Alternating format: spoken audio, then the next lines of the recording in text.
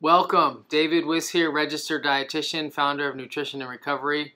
Today we're going to talk about vaping and e-cigs.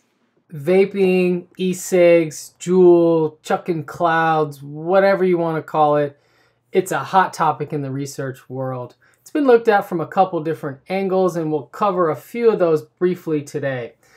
Uh, the well-known NHANES dataset showed that E-cig use was more common among young people, those with lower socioeconomic status, and current and former smokers. So it's no surprise that there's a link between uh, cigarettes and vape, and that's bidirectional. The bigger question today is how is vape linked to appetite, weight loss, and eating disorders? In this particular sample of 459 adults, it was found that nearly 14% reported vaping to lose or control their weight. And of those, they were more likely to vape frequently, be overweight, restrict calories, and have poor impulse control. Uh, this study suggested several reasons why one might turn towards vaping. One is an appetite suppressant effect, it does curb cravings for sweets. Uh, it can distract or substitute eating, so there's the oral fixation, hand to mouth thing going on. There's a ton of really appealing flavors out there that mimic alcoholic beverages, candies, desserts. They've actually gotten very creative.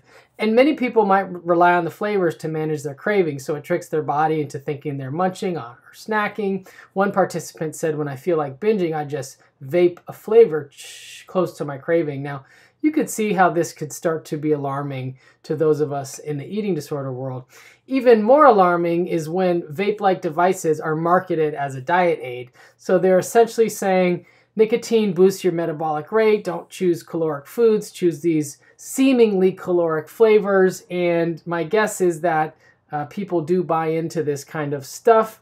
Um, as a practitioner, I've seen a large percentage of uh, those with eating disorders engage in the vaping. This study looked exactly at that. It showed that those that reported an ED did endorse vaping motives consistent with eating pathology, so using substances to induce weight loss, compensatory behaviors that were hidden.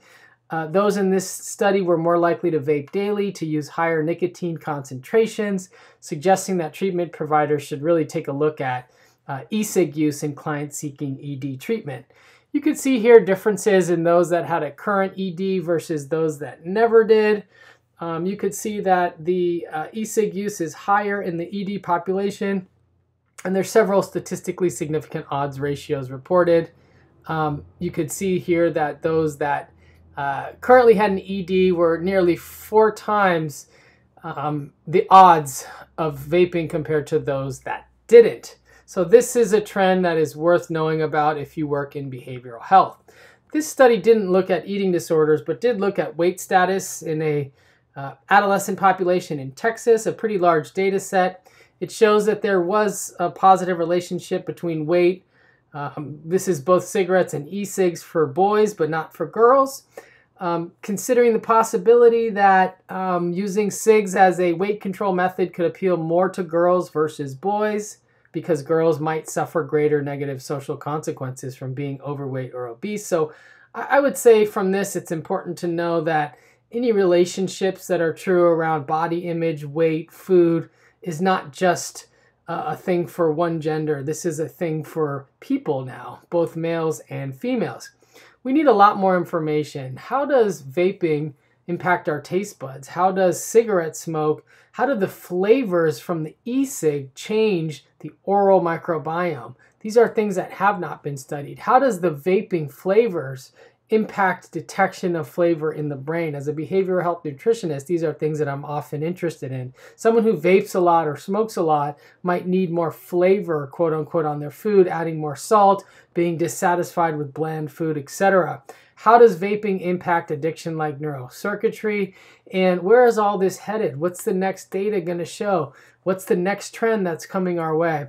I'm certainly interested. I don't have all the answers, but I do have some of the good questions. If you have questions or you have some opinions or comments, please feel free to leave them below.